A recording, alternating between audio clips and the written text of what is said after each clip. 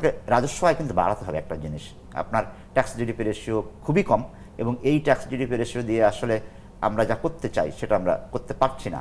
আপনারা যে আলোচনাটা করছেন সেটা হচ্ছে আটত্রিশ হোক, চল্লিশ হোক, কিছু সেবা, তার বিপরীতে এই সেবা নিতে গেলে আপনাকে প্রুফ অফ রিটার্ন সাবমিশন দেখাতে হয়। সেটা একটা আলোচ, সেটা আছে।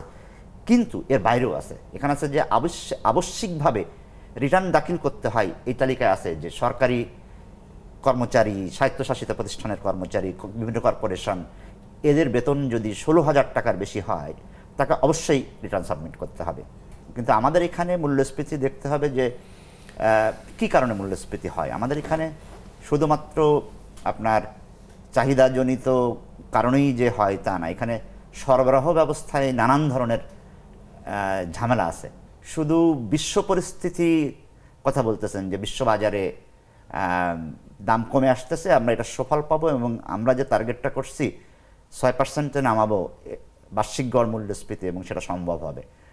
তো বিশ্ববাজারে তো গত এক বছর ধরেই কমতেছে, অনেক কমছে, কই আমাদের দেশে তো কমে না। ইভেন বিশ্ববাজারে কমছে, নিজেদের অভ্যন্তরীণ ব্যবস্থাপনা আরও উন্নত করে অনেক দেশই মূল্যস্ফীতি তিন চারে নামায় নিয়ে আসছে।